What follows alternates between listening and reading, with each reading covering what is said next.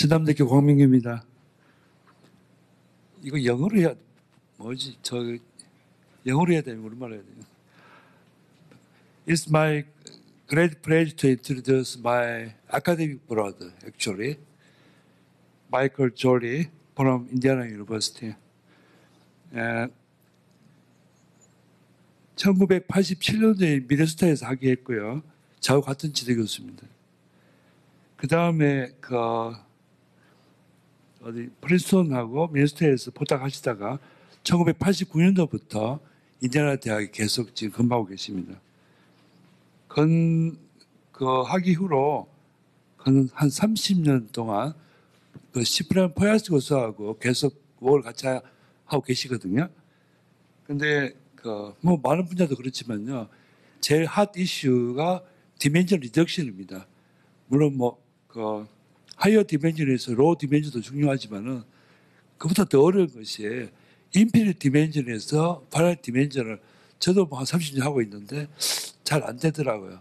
그 이번에 그 같이 어떻게 하려고 불렀는데 이번 주 같이 있다가 이렇게 겹쳐가지고 그 제가 모셨습니다. 어, he, he will give talk today. It's titled Determining Forms and Data Assimilation. Please welcome Michael Jolly. Come over here.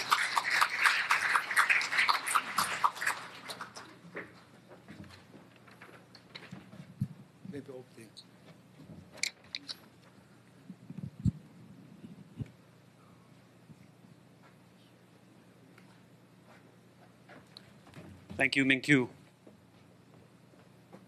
for both a very nice introduction, which I didn't really understand, but uh, also for your generous hospitality. I have to say that I've been impressed by so many people here who come up to Minkyu and greet him as such a great friend. And it's not possible that they all owe him money, so I believe the affection is general, is, is genuine. And I have to say that everybody here is very welcoming. So it is a great pleasure to be back in Seoul and to speak in front of so many Korean mathematicians.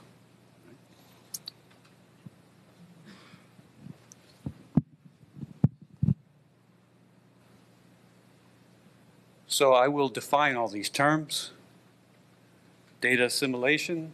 I will demonstrate at the beginning. I'll define what I mean by a global attractor, since looking at the list of talks here doesn't seem like anyone much beyond Minkyu and I are concerned about these things. Inertial manifolds as well, and these new objects which are called determining forms. So let me just start with a differential equation. And even if you're a topologist, you've probably seen a differential equation.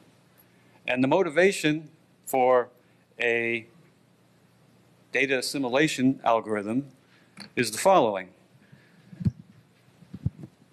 Let's, let's talk about the weather. So the problem, aside from the fact that it's a very complicated system, is that we don't know how to start our simulations. We don't have a complete picture of the entire atmosphere and all the variables that play into it. We only have discrete information at certain weather stations, which are measuring, say, the velocity and the temperature and the pressure, these things. So we don't know how to start our simulations, let alone, okay, it's a very big system. On the other hand, we can use the information that is coming from these discrete locations over time. It's not simply starting at one value. We know a lot of data over a long period of time. And so the idea behind data assimilation is to inject a time series of data into the model and force it to approach the correct behavior even though we don't know how to start it exactly. So I'm putting on the screen here two differential equations. The one on the top is the basic model. The one underneath it is what we're going to use to drive the solution to the correct solution. So we can call the solution to the top the reference solution.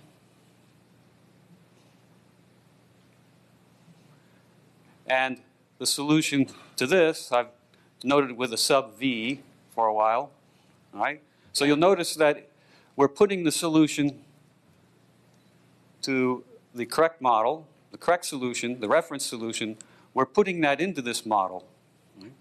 Now this J represents some sort of projection because we don't know the data everywhere. We know it only at a, say, a finite number of points. So it's like a, a finite dimensional projection of the correct weather or whatever U represents. Right? And you'll notice that there is a, a parameter here to play with, this mu. Right? And the fact is that under certain conditions on this projection and this mu, we can force the solution to this system to approach the correct system using only partial information about the true reference solution. So that's the idea behind data assimilation. All right, let me talk for a while about a particular system. It's not the weather system, although in some sense it forms a fundamental, simple part of it. So this is called the Rayleigh-Benard system, right? So it's not an ordinary differential equation anymore. It's a partial differential equation, but the essence of it is the same. You see two components, actually. The first one represents velocity, that's u. And never mind about all these terms. This is essentially the momentum equation. It's described by Navier-Stokes. And there's just a special force here which uses theta, which is the temperature. Right? So this couples the temperature and the, the velocity in a very particular way. This condition just says that the velocity as a vector is divergence free. And there are some specific boundary conditions. The ones that I'm expressing here are after some sort of shift in the variables. Normally for Rayleigh-Benard, you would heat below and you would cool on top, and this drives some sort of convection that you often see in the atmosphere. In fact, we will just assume that we are periodic in the horizontal direction and we are um, zero on the top and zero on the bottom after, as I say, change of variables.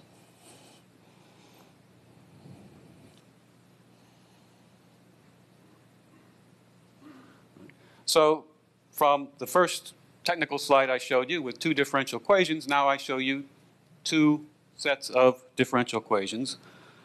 This represents what gives you the reference solution or the true solution, and this one with sub v's everywhere. It's, it's just like this one, except I've put sub v's, and now I have added this extra term. But one thing that I want you to notice is that I do it only in one component. I do it only in the equation for velocity, not in the temperature. And the point is that it's possible to recover not only the velocity in this way, but you recover also the temperature. Provided that this parameter in front of this feedback force, if you will, is large enough, and in turn, having taken that large enough, you have to take h small enough in order to satisfy a certain condition. Then you'll get that u v approaches u, uh, and the temperature approaches the temperatures of v as time goes to infinity. In fact, it does it at an exponential rate, so it does it rather quickly.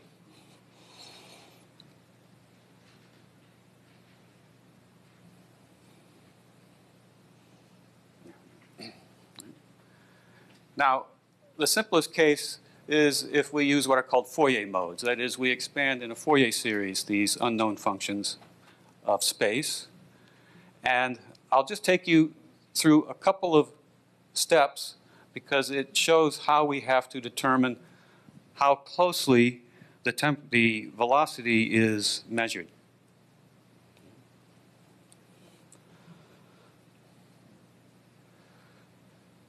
So you don't necessarily have to work in partial differential equations to follow these steps.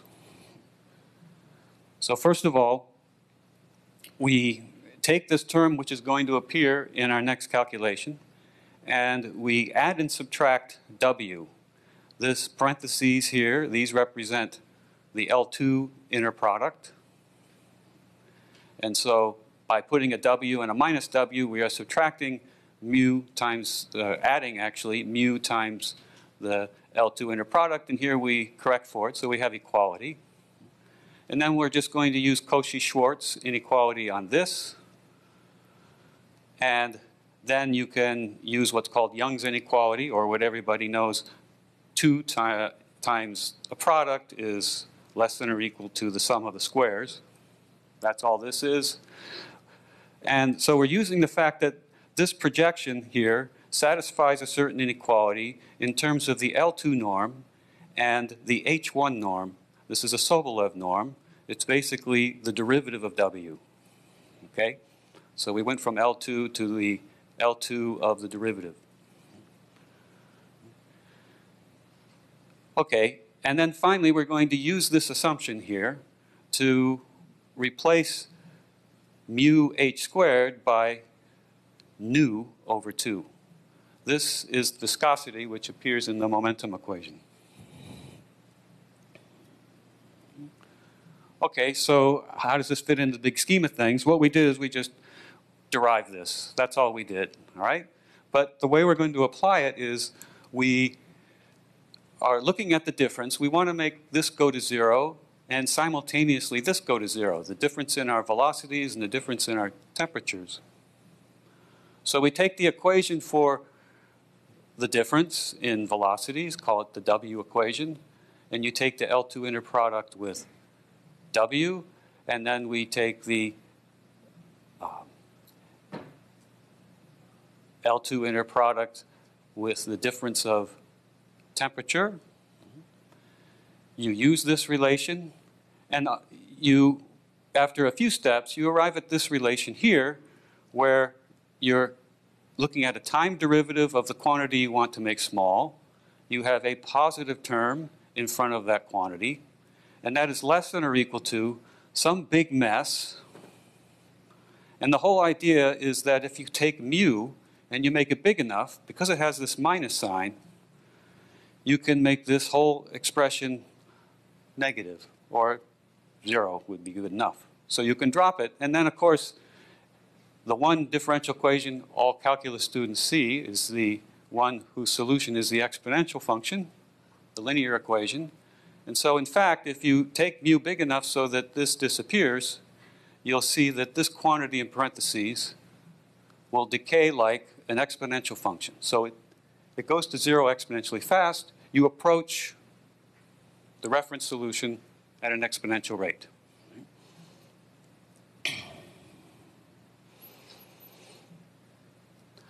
Now that's fine, except maybe this is unrealistic. Maybe we are asking for too sharp a resolution.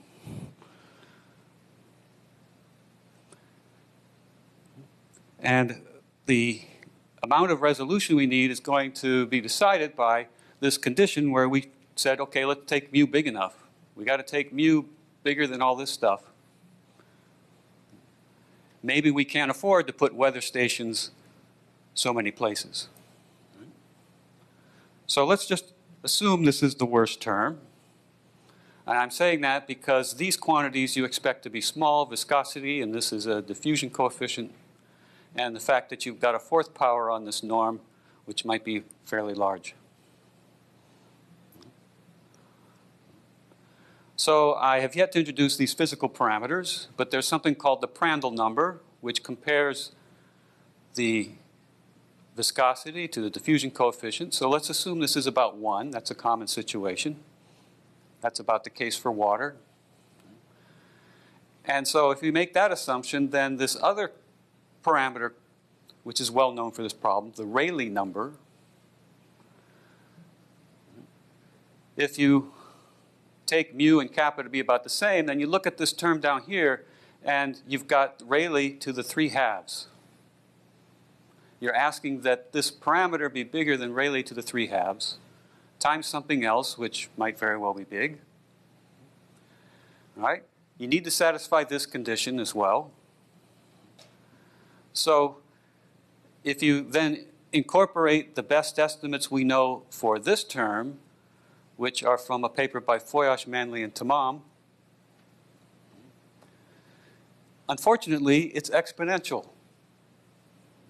Exponential in the viscosity to the minus seventh power. Now, viscosity is small, so B is big. And it, moreover, is in an exponential. So this is a nightmare. We are asking that mu be bigger than this outrageous quantity. And to just give you a feel, we're talking Rayleigh numbers in applications that are on the order of a million. So this is telling us that, okay, we have to have our points in space on the globe very close together, closer than we could achieve, if our estimates are sharp. Fortunately, they're not. Right? This is analysis, and while it gives you a guide for what might work, it, you can't take, you have to take it with a grain of salt. Right?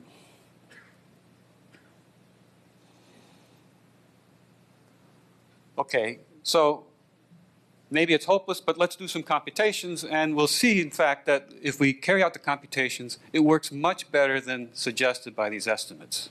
We don't need to have the points so close together. Now, the computations are done on the same problem, but it's repackaged a little bit because it's more efficient to, in the case of the two-dimensional Navier-Stokes equations, which is the momentum equation, to, instead of velocity, write an equation for the vorticity up here, this omega, right? And then you get a very similar looking system in terms of omega. And so omega now and theta form our reference solution. And down here, we are driving it with the given omega. So I put an omega sub u on the reference solution here. That's what comes out of this.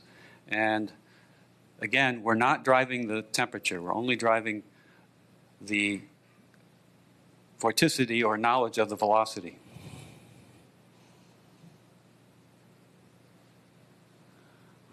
So to demonstrate this, I have to start on some solution. This is what we're starting with. And what I'd like to do is now show a video.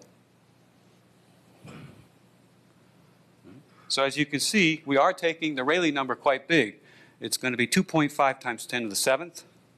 I said we'd take the Prandtl number about 1. In fact, we'll take it to be exactly 1.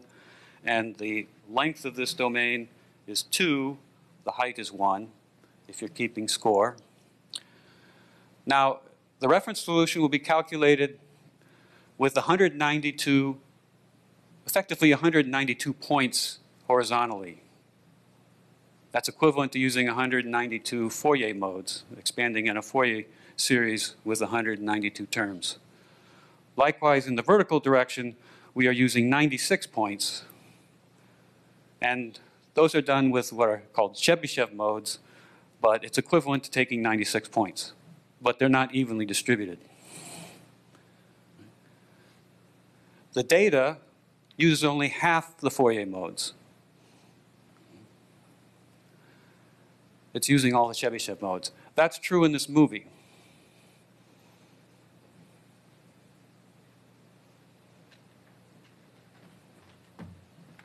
All right. Can you start it over again? Okay. Thank you. Just stop it and go back to the beginning. Great. Okay. Uh, so on the left at the top, you have the vorticity field. So this corresponds to velocity, but it's all incorporated into a scalar quantity, so we don't have to draw a vector at each point in the plane. And down here, we have the temperature field, which of course is a scalar, in our domain, which goes from, uh, say, 0 to 2, and 0 to 1. Over here, we have what we have initially, and that is no knowledge of what the solution should be. But we want to solve this system. We want to demonstrate that this works. So we're going to let the weather evolve as it should. That's one system evolving. And then we are going to drive it, drive the second system in order to make this approach this. Okay, so go ahead. Thank you.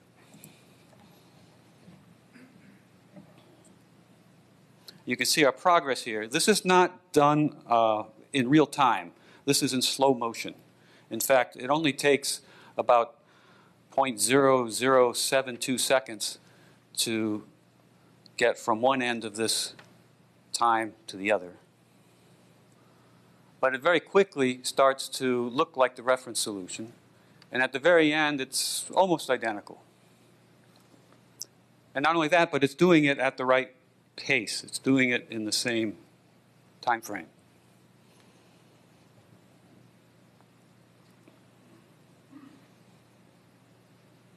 Almost done.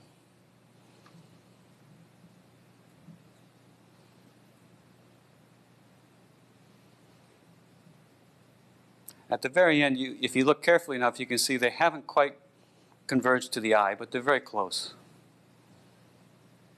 Okay. Thank you. I think I will switch to the next one for the sake of time.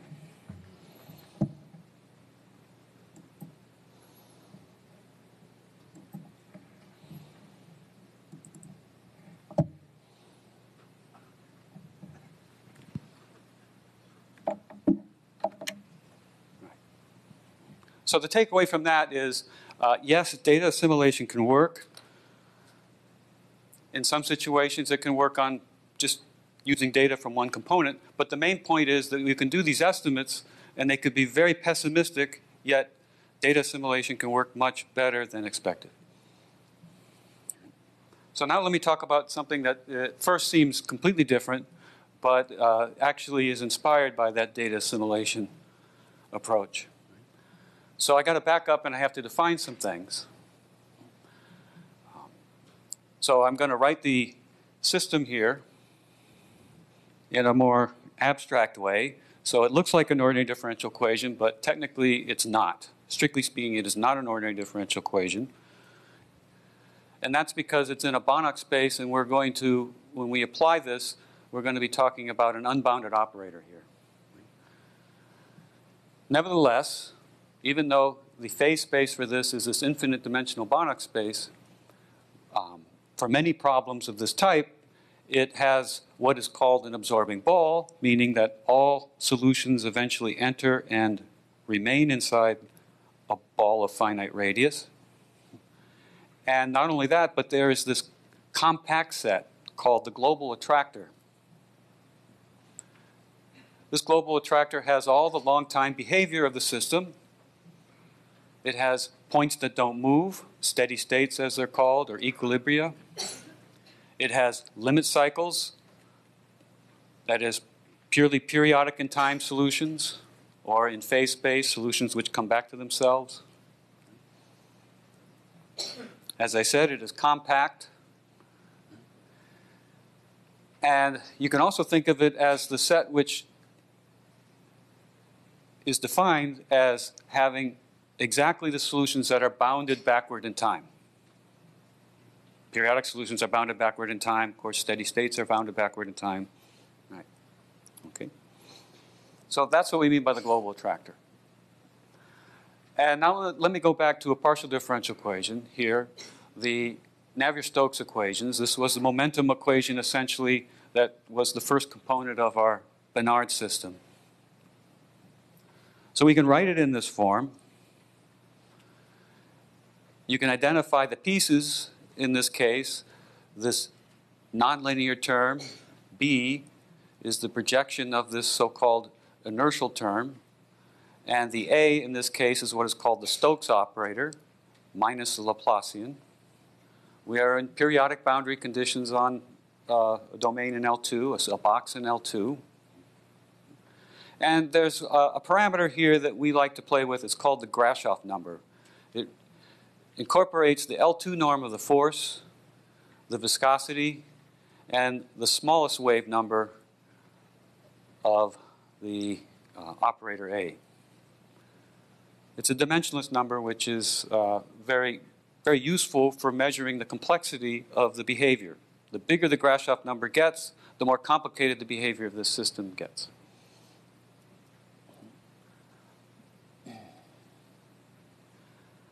How did I skip inertial manifolds? I skipped this slide. Yeah, all right. So, what is an inertial manifold? It is a exponentially attracting, finite dimensional invariant manifold. So, exponentially attracting means if you start off it, you will quickly get attracted to it. Invariant means if you start on it, you never leave it. And of course, we know what finite dimensional is. Smooth, uh, we'll say at least Lipschitz smooth. Right. So if you take our system, now you, you may have noticed that I was writing the general system with a time variable s, and now I write it with a dot, effectively. So this represents du ds this is common notation for differential equations. And it's important to kind of keep an eye on the time variable. In the, we often have an expression, dotting the i's and crossing the t's, right? Well, here we're dotting the s in effect. So with an inertial manifold, what you can do is you can write this system as a pair of equations, which are coupled. They're coupled through the nonlinear term. And if, in fact, this inertial manifold is the graph of a function, call it psi, you can replace the q here in the first equation with that function. And now what you've done is you've replaced an infinite dimensional differential equation with a finite dimensional differential equation. This now is truly an ordinary differential equation. The problem is that this, there we go, that this system, the Navier-Stokes equations, it, it's not known yet whether it has such a manifold. It was actually the inspiration for the notion of an inertial manifold. That's where the name inertial comes from but it's been open now for over 30 years whether this has an inertial manifold. So we're, we're going to compromise.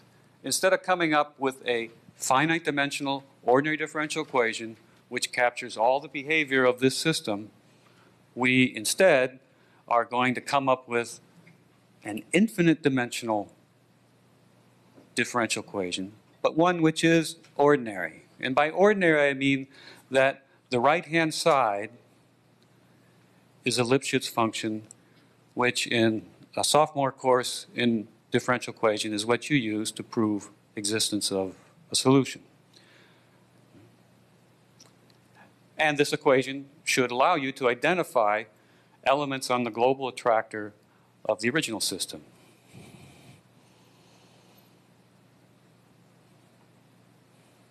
Okay? So the main idea behind this comes from something called determining modes or nodes or determining whatever. Okay? And this idea goes back quite a ways to 1967 in a paper by Foias and Prodi.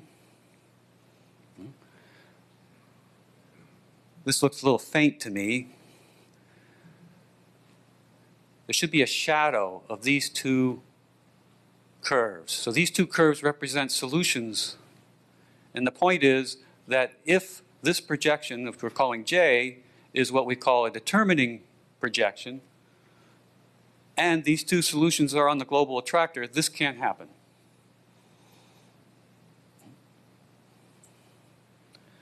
And it turns out that for the Navier-Stokes equation, even though we don't have an inertial manifold, there are a finite, it does have a finite dimensional determining projection, and it's on the order of the Grashof number that parameter that I said is so useful.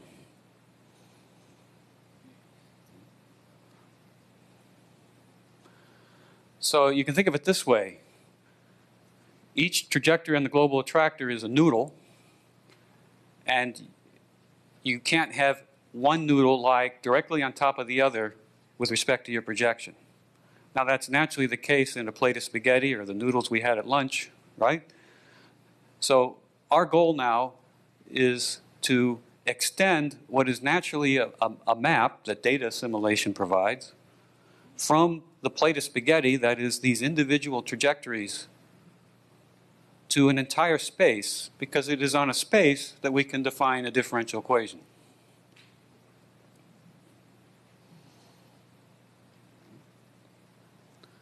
So I continue writing it with this S. So there's our system again. And now we see our old friend where we are providing this feedback force.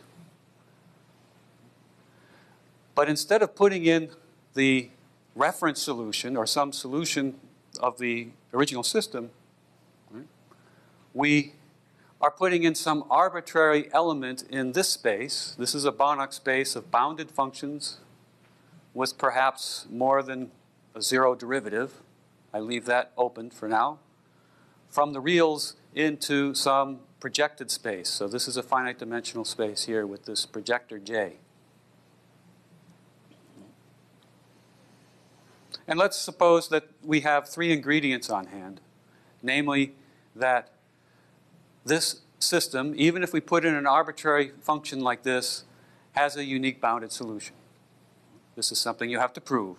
And moreover, if the sup norm of V is controlled, you are controlling the sup norm of W. All right, that's reasonable. Also, that this now forms a map we call capital W, and that this map be locally Lipschitz. And it has this property that if we replace V with the projection of what I've been calling a reference solution, something that's on the global attractor of your original system, then this just spits back out that same solution.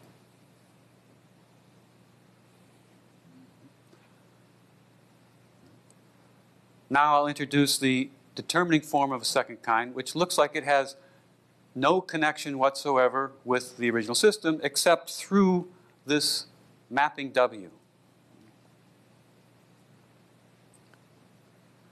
Yet it has the properties that it is a true ordinary differential equation, and this is because this is now going to be globally Lipschitz on a ball of a certain radius, which is forward invariant. That is, if we start on the ball, we stay in the ball. And so it's globally Lipschitz as far as that ball con- is concerned, and we never leave it. Moreover, we can identify solutions on the global attractor as steady states of this new system, which will occur in one of two ways. Either V has to be equal to some chosen steady state, the projection of some chosen steady state, or it's making this expression zero. Every solution of this will go to a steady state. So every solution is going to something connected to the original system.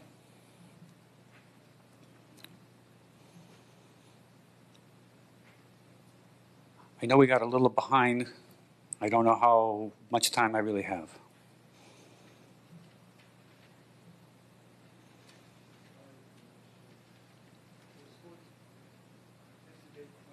Hmm? I go five more? Okay, that's fine. Yeah, I can stop at any time. I can go another hour, but I won't. All right? Okay, so this is a determining form we call of the second kind. That suggests there's one of the first kind at least. There's actually one of the third kind, et cetera, et cetera. Um, that's just my terminology.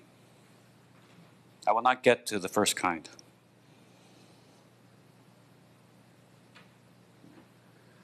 But one strange thing going on here is that you've got really two time variables. You want to think of them as time variables. There is the evolutionary time, tau,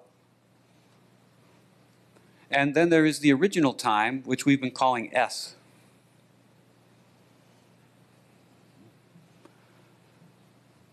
Now, that's not so strange, except it involves two time-like variables.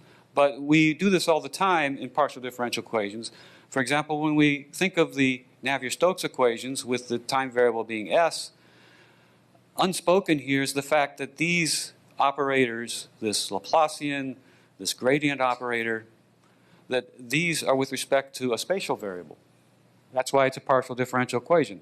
There's more than one independent variable.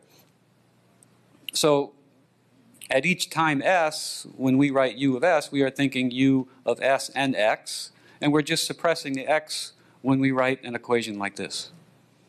So likewise, when we write this determining form, we are suppressing the first time variable. But at each instant in the evolutionary time tau, we have a function that depends on s in time.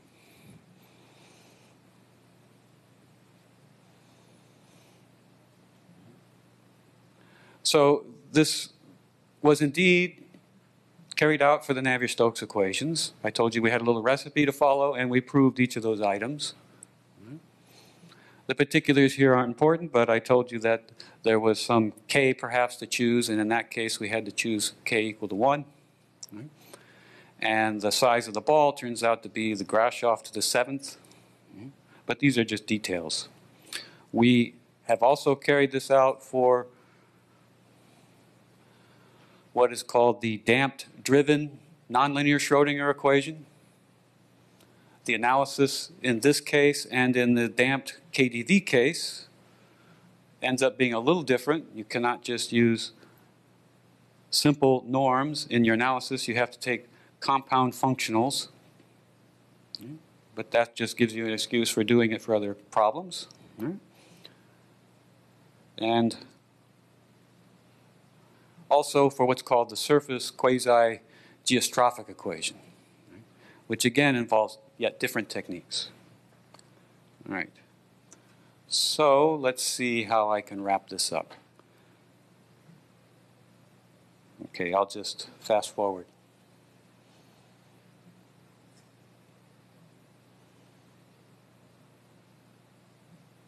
There.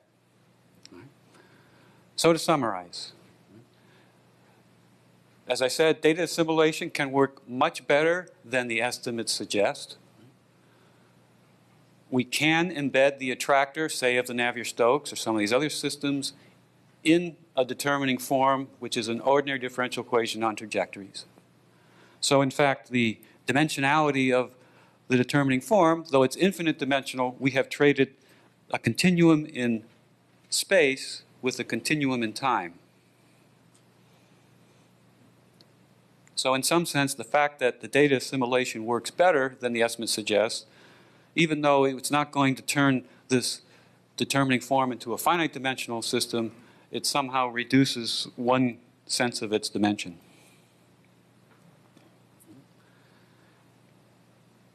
There are several determining forms. I've shown you only one. Right? We know the dynamics of this form, perhaps. We don't know the dynamics of a third kind, but the third kind, which I will not have time to show you, uh, may be useful for removing noise from a signal. That is, I can start with some nearby trajectory. These determining forms evolve trajectories. So even though this is a noisy signal, it will evolve it toward, in fact, the correct signal. That's one way I think we can apply these objects. Otherwise, it's not uh, yet known what the applications can be, but uh, we hope we can find some more. And with that, I'll finish. Thanks.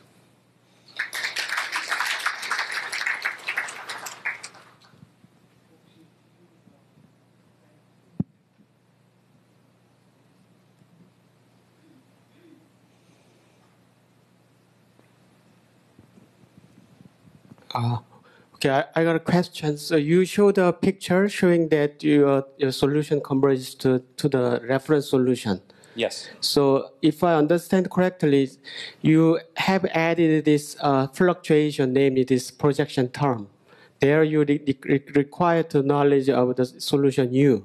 Yes. So, so your reference solution is fitted into that system as a U, right? Yes.